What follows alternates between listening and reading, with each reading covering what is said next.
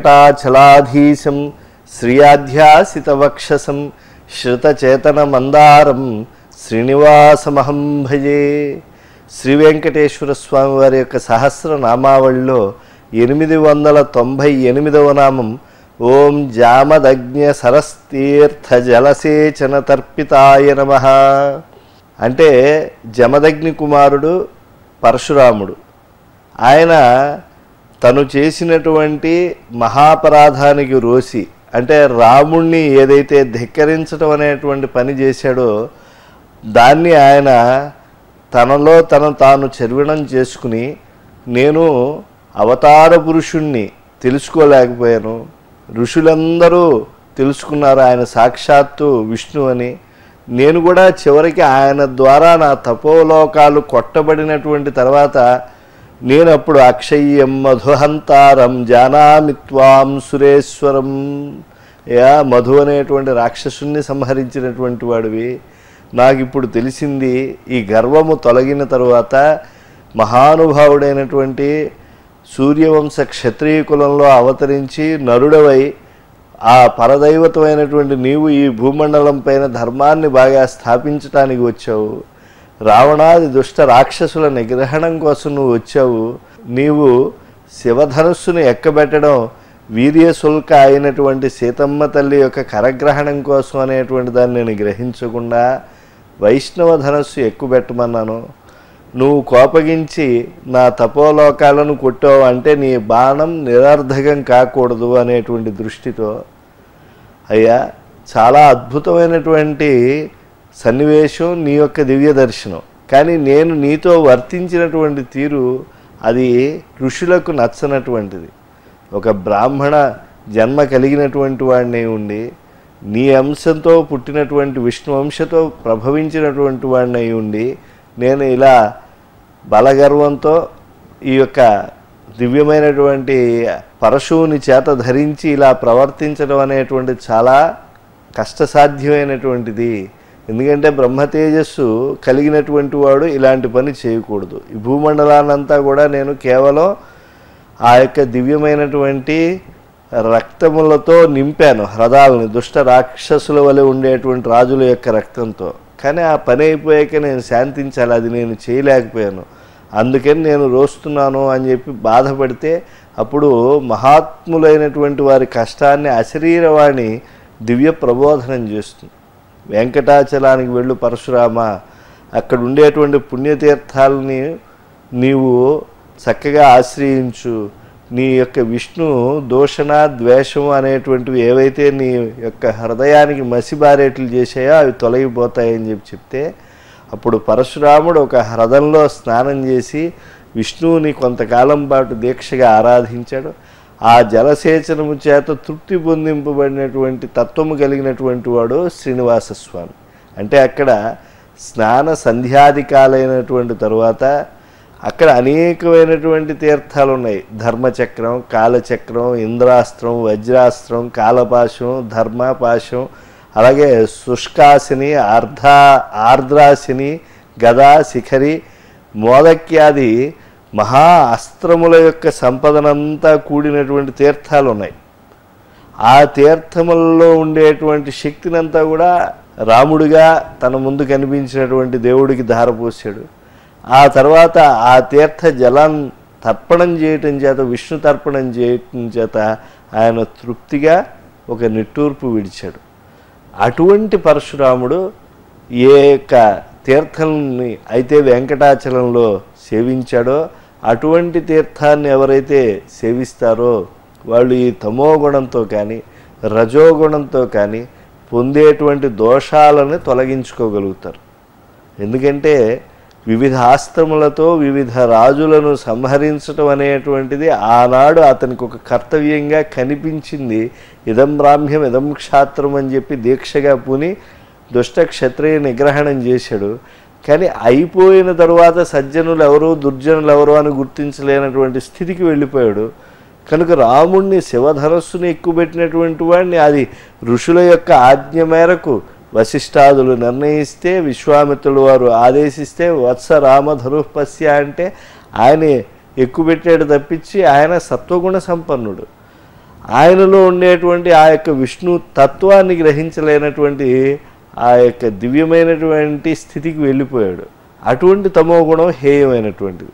కాబట్టి ఆ ప్రకాశించేటువంటి తమో గుణాన్ని దూరం చేసుకుని అన్నింటికీ వెలుగులకు వెలుగైనటువంటి ఆ యొక్క శుద్ధ సత్వగుణాన్ని ఆశ్రయించేందుకు తగినటువంటి ఆ యొక్క గుణపాఠాన్ని బాణంతో తపోలోకాలను కొట్టి ఏర్పరిచినటువంటి రఘురాముని యొక్క దీప్తిని ఆయన మళ్ళా తిరిగి పొంది అలా వెళ్ళిపోయాడు.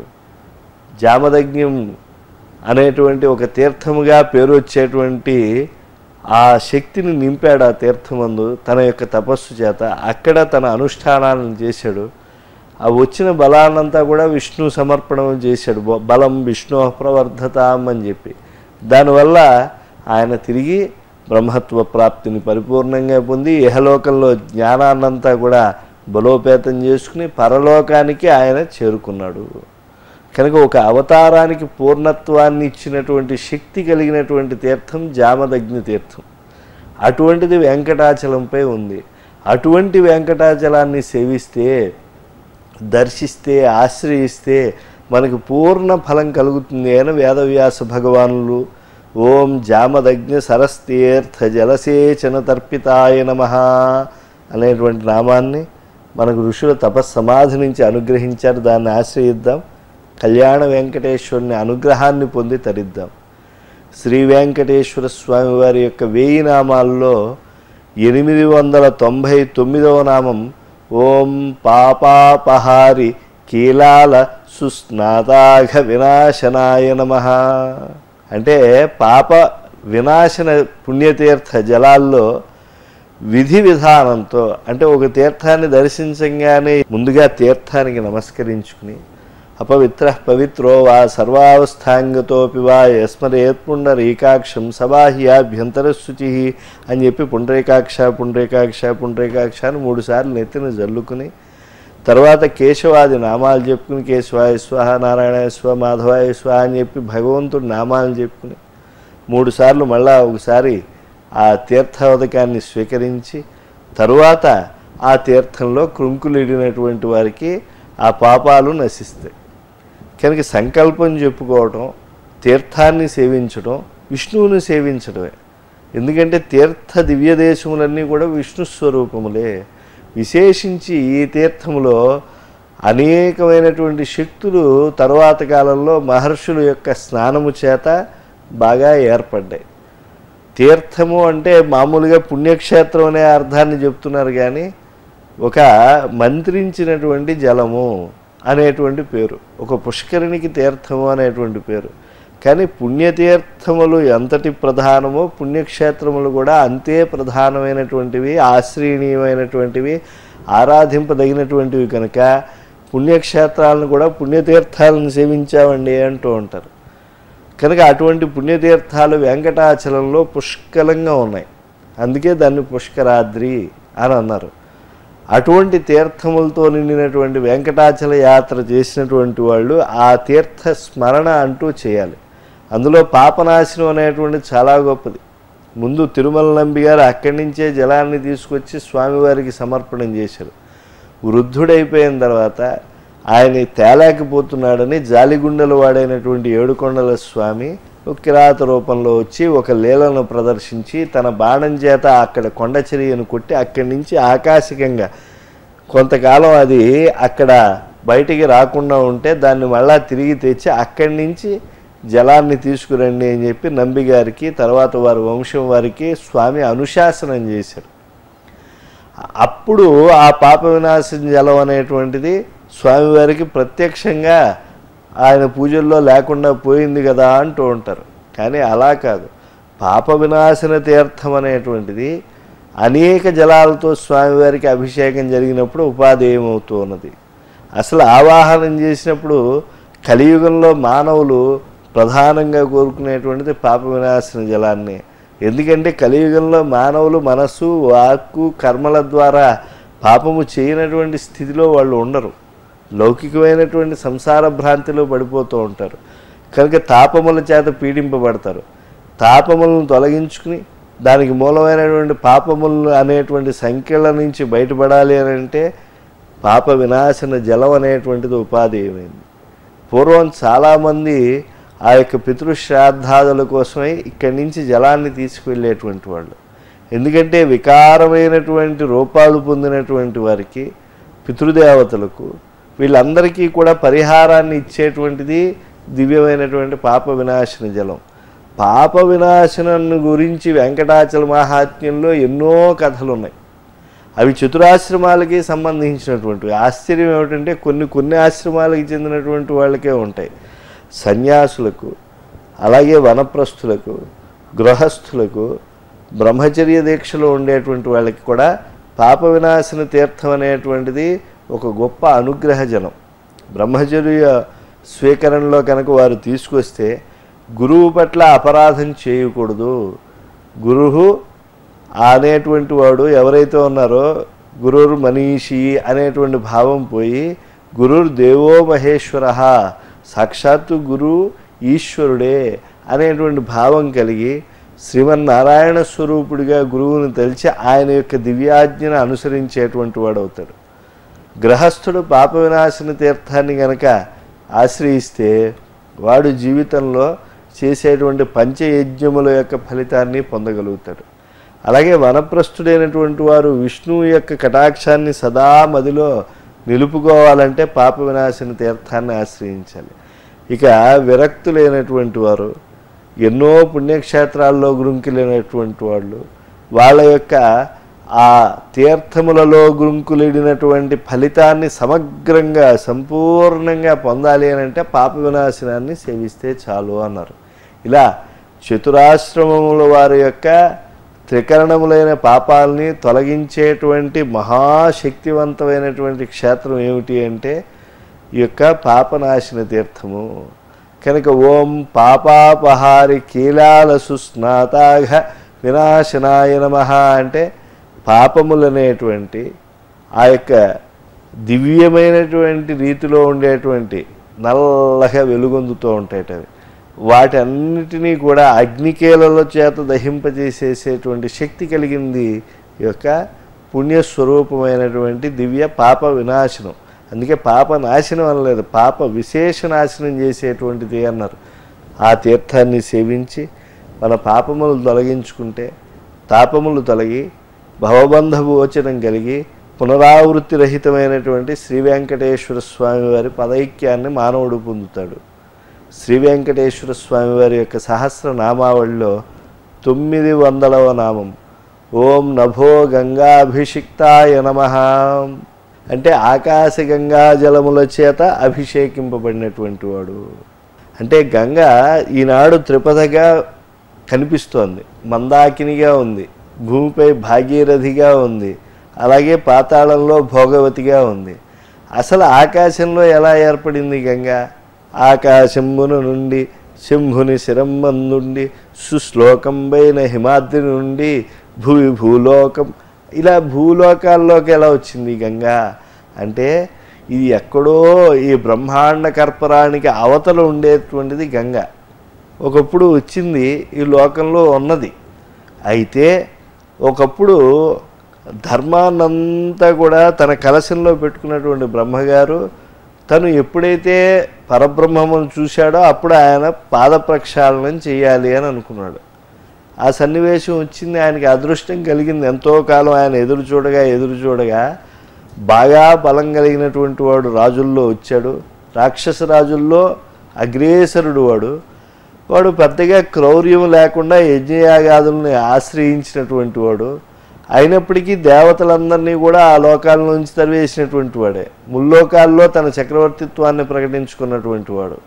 ఆయన ఒక యాగం చేస్తున్నాడు. ఆ యాగంలో అదితి పుత్రుడే వచ్చి వామనుడిగా శ్రీ మహావిష్ణువు ఆయన యజ్ఞం దగ్గరికి వెళ్ళాడు. అసలు ఆ బ్రహ్మమయమైనటువంటి తేజస్తో ఉండేటువంటి బాలకుడిని చూసి నాయన నీకు ఏం కావాలో కోరుకు అది ఇచ్చేస్తాను అన్నాడు. అంటే ఆయన మూడు అడుగులు నేల కావాలి అన్నాడు. అదేమిటయ్యా? మూడు అడుగులు ఏం చేసుకుంటావు నువ్వు? మొత్తం ఈ భూమండలాన్ని అంతా అడుగు ఇస్తా. లేకపోతే బోళ్ళని గుర్రాలు అడుగు ఏనుగులు అడుగు ఆడవాళ్ళని అడుగు ఇంకా ఏదైనా నీ దాసదాసీ జనాల్లో ఏమైనా మార్పులు ఉంటే కూడా చెప్పు. వాటిలందరినీ కూడా నేను ఇంకా కూడా ఇచ్చేయటానికి సంఖ్యను పెంచేయటానికి ముందు చెప్పిన సంఖ్య కన్నా కూడా నేను చేస్తాను అద్భుతమా? ఇలా లెక్కలు చెప్తున్నాడు. ఎందుకయ్యా ఇవన్నీ? అసలు ఆరడుగుల స్థలం ఎందుకు పోయినప్పుడు పడుకోవటానికి కాకపోతే మూడు అడుగులు చాలదా ధ్యానానికి మానవుడికి అని చెప్పి ఉపదేశం చేసి ప్రాప్తంబగులేశమైన పదివేలను చున్ తృప్తించి అందని మనుజుడు సప్తద్వీపమునైన చక్కంబడునే ఏడు ద్వీపాలతో ఉండేటువంటి వసుమతిని అంతా కూడా మనం పాలించినా కూడా వచ్చేటువంటిది ఏమిటి ఆశ అనేటువంటి పాశ్యం చేత బంధింపబడితే చాలా కష్టం కలుగుతుంది కదా అని విమలమైనటువంటి మాటలు పలికి సరే అని చెప్పి వింధ్యావళీదేవి చేత తీర్థాన్ని పోయించుకుని ఆ జలాన్ని మంత్రపూతమైనటువంటిది ఇదం ఇదన్నమమా అని చెప్పి మూడు అడుగుల స్థలాన్ని దానం చేసిన తర్వాత ఆయన ఇంతింతై వటుడింతై మరియు తానింతై నభో వీధిపై అంతై తోయజ మండలాగ్రమున కల్లం అలా పెరిగిపోయాడు ఆయన. అప్పుడు ఆయన యొక్క పాదం ఒకటి పాతాళానికి పెట్టేశాడు భూమిని అంతా పెట్టేశాడు దానిపైన. రెండో పాదాన్ని ఆకాశం పైకి పెట్టాడు. ఆకాశం అంతా నిండిపోయింది విష్ణు పాదం. అప్పుడు ఆయన బొటన వేలు తగిలి అజాండ కర్పరం భద్రై అప్పుడు గంగాదేవి అక్కడికి వచ్చేసింది. అంటే బ్రహ్మగారు మరి కలశంతో చక్కగా పాదాన్ని కడుగుతున్నాడు.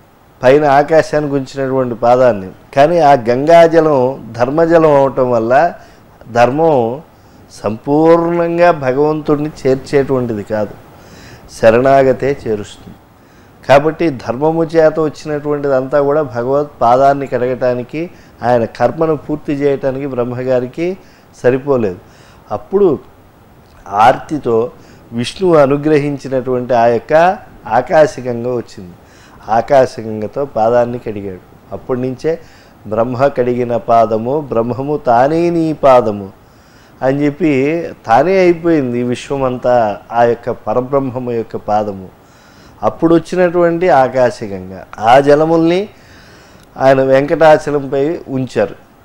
అలా నీలగా ఉంచినటువంటి జలము కొంతకాలం తర్వాత మరుగున పడితే మళ్ళా తిరుమల నమ్మిని అనుగ్రహించినప్పుడు ఆ యొక్క పర్వత చర్యల అడ్డు తొలగించి మళ్ళా గంగ వచ్చేట్టు చేశారు.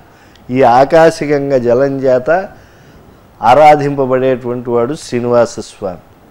ఈ యొక్క ఆకాశగంగా జలాన్ని ఆశ్రయించి అంజన కన్యలోచనముల వెంట దుఃఖాన్ని పొందినప్పుడు దాన్ని తొలగించుకుని ఆ బాష్ప వారాశి నుంచి అపుత్రకత్వ దోషాన్ని తొలగించుకుని సపుత్రకత్వ భాగ్యాన్ని పొందింది. అంజనాచ తపకృత్వ హనుమంతం అజీజనత్.